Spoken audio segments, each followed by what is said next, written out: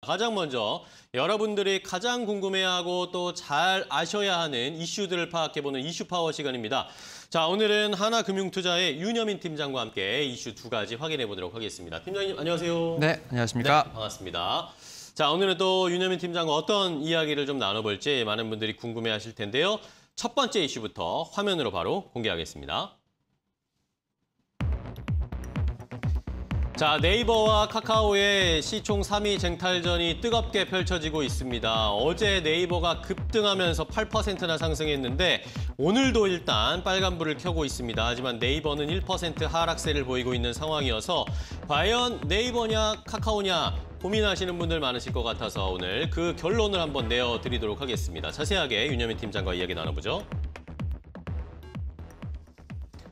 자, 첫 번째 이슈는 뭐 네이버 카카오 이야기입니다. 오늘 방송에서 뭐 사실 어제부터 계속 나왔죠. 네이버 카카오 이야기 좀 지겨우실 수도 있겠지만 아, 어쨌든 윤여민 팀장에게 한번 결론을 제가 아, 도출해 보도록 하겠습니다. 아, 뭐 짜장면이나 짬뽕이냐 이런 고민보다 더 심각한 네이버 카카오 어떤 걸 골라야 하나 많은 분들이 개인 투자자분들이 고민하고 계십니다. 어, 단도직입적으로 여쭤볼게요. 어떤 게 좋을까요? 아, 수익률이 수익률 측면에서 봤을 땐 네이버가 낫지 않을까 싶습니다. 아, 네이버가 나. 네.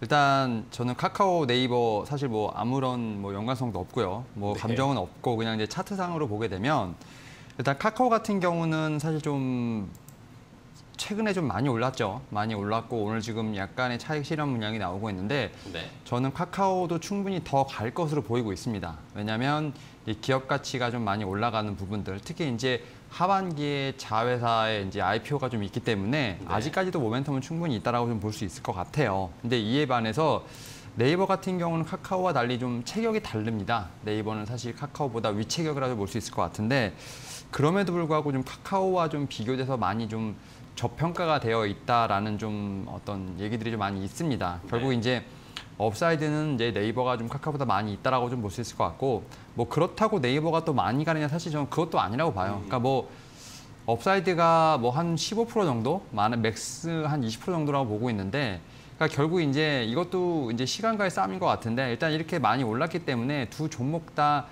뭐 그대로 갈 수도 있겠지만 어느 정도 조정이 나올 수도 있는 상황입니다. 하지만 네. 이제 하반기에 들어갈수록 좀 더 모멘텀이 많이 나올 수 있기 때문에 결국 upside 부분에서 어느 부분이 많냐라고 봤을 땐 전 네이버가 좀 많다라고 생각을 하고 있고 네. 또 최근에 이제 나오고 있는 게 뭐냐면 메타버스 관련된 얘기들이 좀 많이 나오고 있잖아요. 그렇죠. 근데 이제 제페토가 이제 사실 이제 네이버에서 하는 건데 지금 글로벌 서비스 성장 가능성이 좀 상당히 높은 상황이라 볼 수 있을 것 같아요. 그러니까 이제 카카오의 어떤 좀 여러 가지 역량도 있겠지만 네이버 같은 경우는 좀 글로벌적인 측면에서 봤을 때도 좀 더 기업의 가치를 좀 더 받을 수 있는 부분이 있다라고 좀 볼 수 있기 때문에 네.